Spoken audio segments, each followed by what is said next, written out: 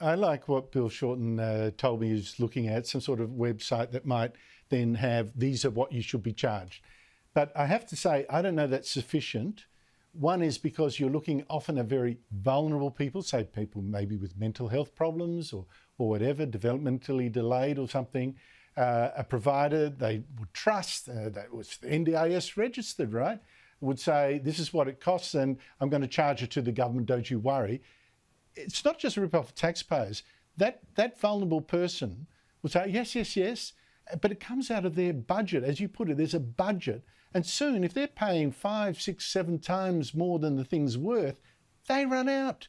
I think it's just so disgusting. And we probably need more than a website. We're going to need a lot more to chase up these people.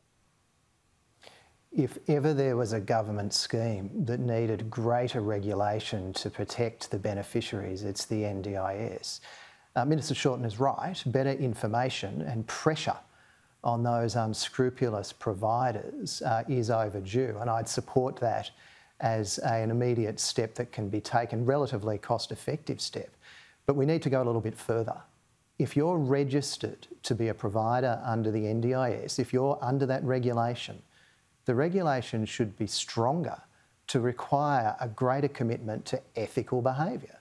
Price gouging and price escalation shouldn't be allowed under a taxpayer funded scheme.